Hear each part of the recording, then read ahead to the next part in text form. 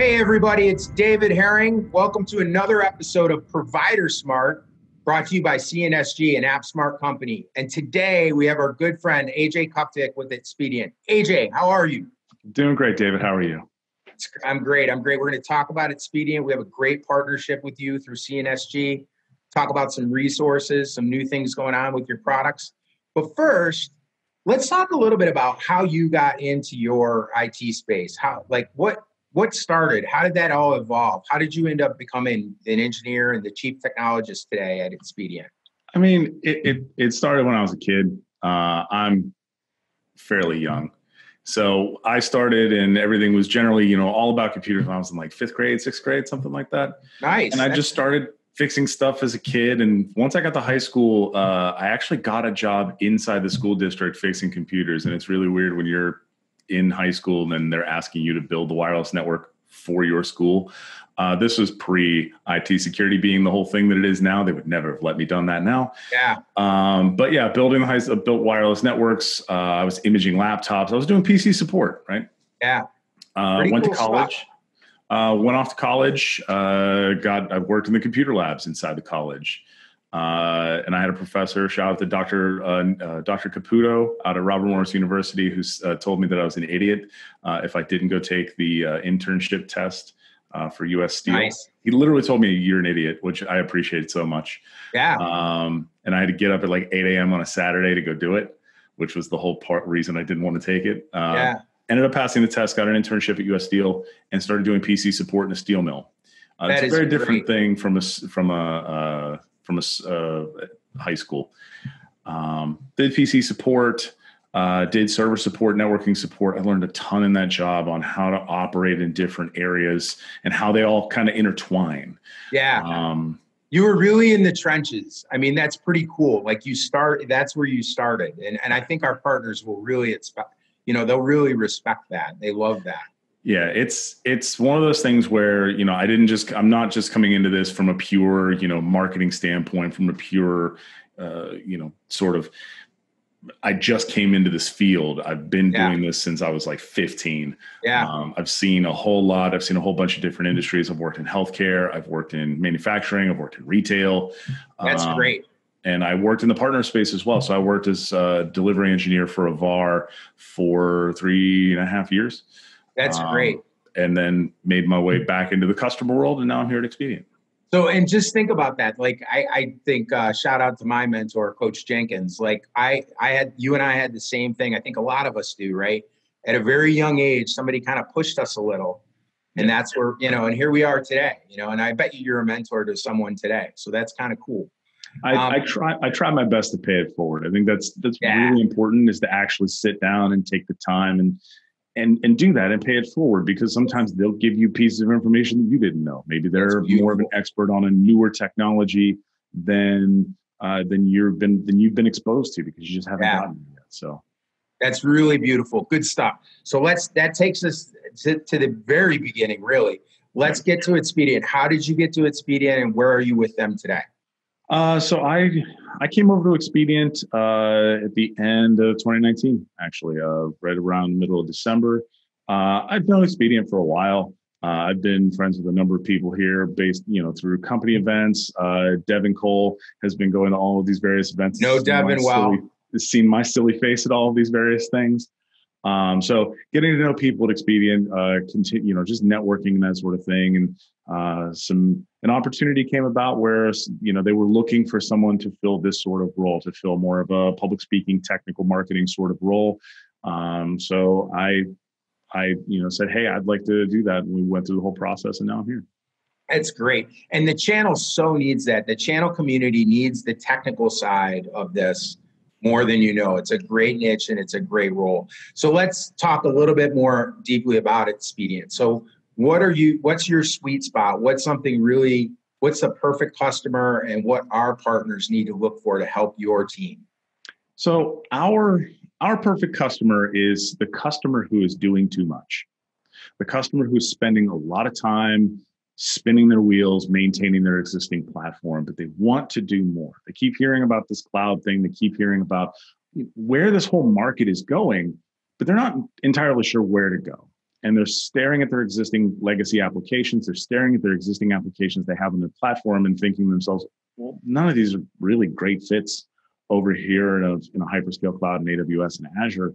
They might be. We could probably shove them in there, but is that the right fit for them? And when we sit down and talk with customers, we we help them understand that not every cloud is Amazon, not every cloud is Azure.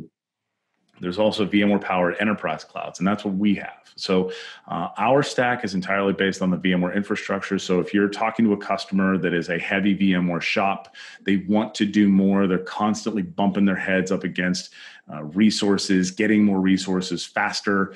Um, they're looking at cloud saying, "Hey, we want to do those things, but we're not sure how to do them."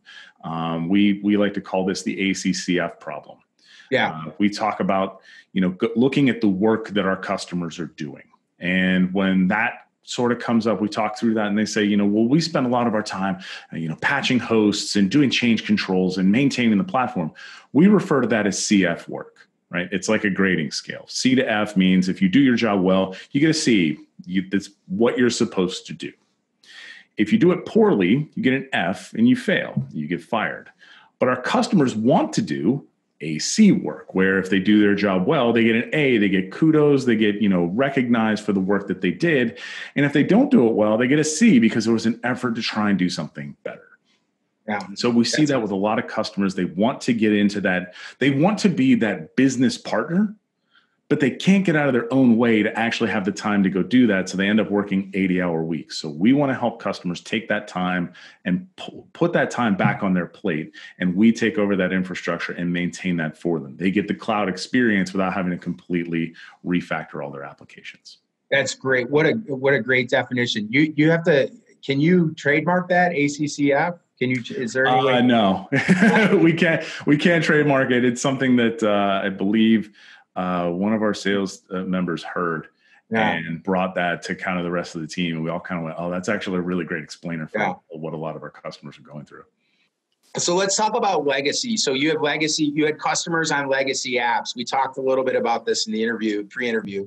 You talked about yesterday, today, tomorrow. That was really cool. Explain that a little bit to our partners. So when we talk to customers, they're staring at these legacy apps, right? They have mainframes, AIX, HPUX. They have all of these technologies that are not exactly the most modern and cool technologies. They're not the most cloud native technologies.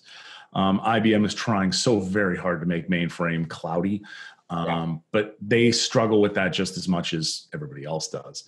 And so, what we do is we help customers understand that not everything has to be you know super cloud native containerized those sorts of things we recognize that applications once they come into a company they have a tendency to not go away unless there's something so overwhelmingly better that the business wants to go to and they're willing to rip out this critical application. Other than that, these applications stick around forever. My experience in healthcare, in manufacturing, and in retail is that once something comes in, it, it it's it's like a cockroach. The only thing that it's gonna it's gonna survive a nuclear explosion.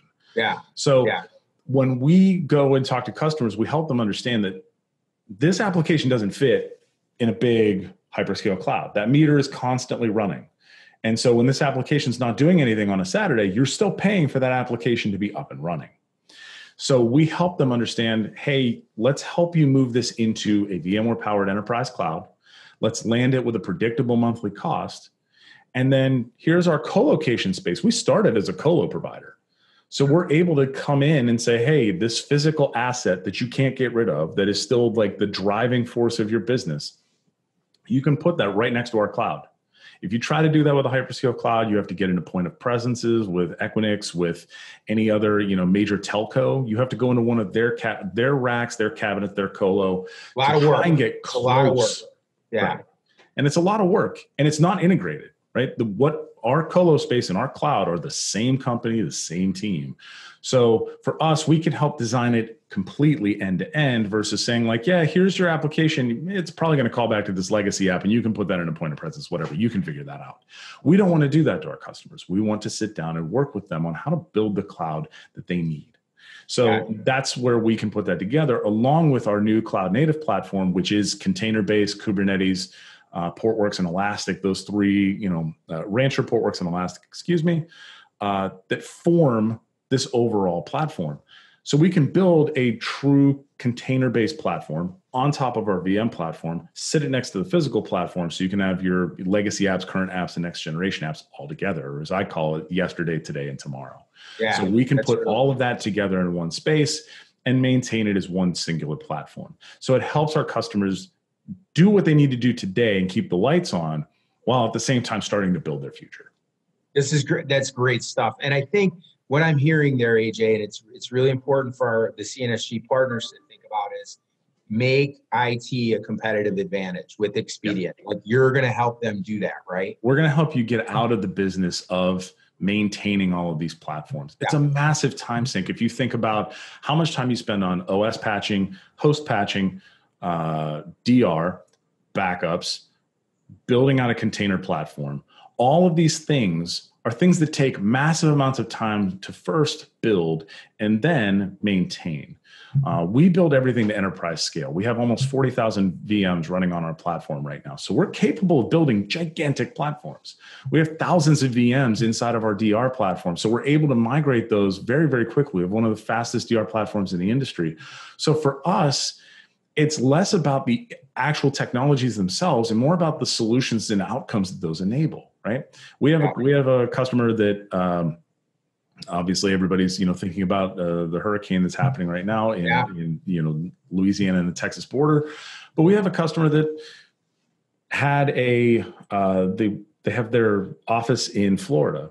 Florida gets a lot of hurricanes and so they partner with us on their push button on our push button dr platform they do dr proactively they don't wait for the hurricane to show up. They yeah. hit the DR button because it's so seamless. Flip over to our Memphis data center, get out of the way of the hurricane, and they send all their people home. That's yeah. a powerful story. That has nothing to do with the technology. That has nothing to do with the actual, you know, capabilities and the ins and outs and knobs of the platform and more about what it's actually enabling. It's enabling their staff to be safe, to be at home with their families while maintaining the business, which is an insurance company. They are kind of important post hurricane, right? Sure. So sure. there's going to be a lot of claims. There's going to be a lot of contact back to the insurance company on damage. So they need to be available the moment the hurricane goes through.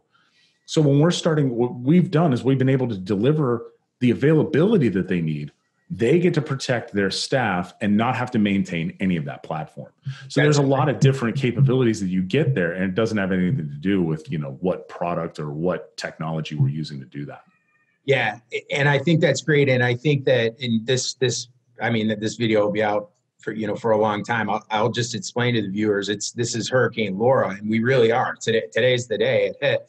I'm willing to bet a lot of the Expedient customers they already had that plan in place long before Laura hit and they yeah, had I mean, a game plan, you know? Yeah. I mean, if you go through what we like to do is we like to actually sit down and talk through DR. Uh, a lot of our customers come in uh, first for DR because we are a colo data center. We are a uh, DR target data center. So we are capable of doing that for your on premises technologies as well. So a lot of customers come to us first looking for that.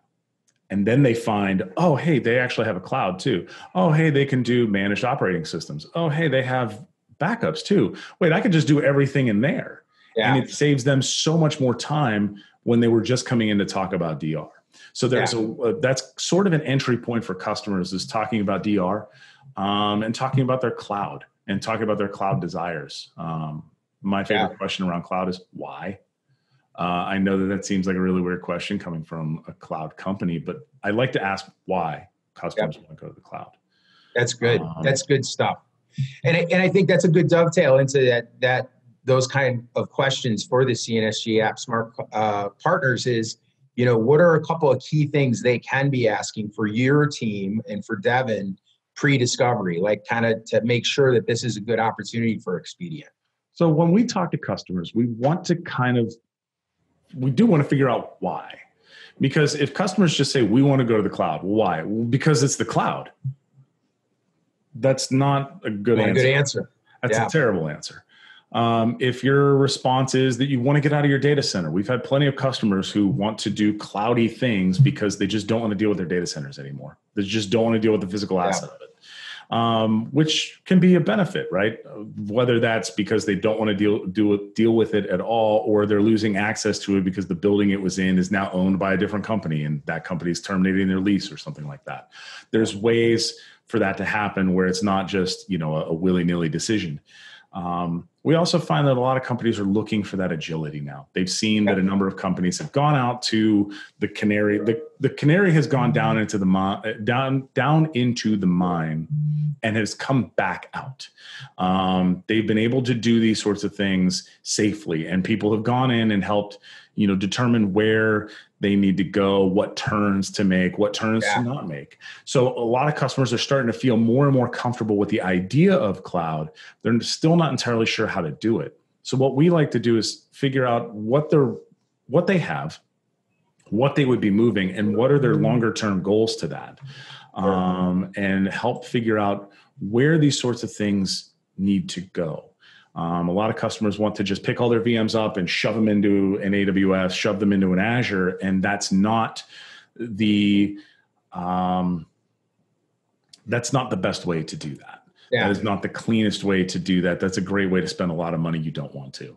Um, yeah. What we do is we help bring a predictable model. Our VMs are all done via resource pool. So a customer would you would sit down with a customer, we would sit down with them and say, okay, how big is your environment? What are you looking to move? Okay, you're looking to move 100 gigs of RAM and five terabytes of storage. Okay, you pay for that 100 gigs of, v- of RAM and that five terabytes of storage every single month.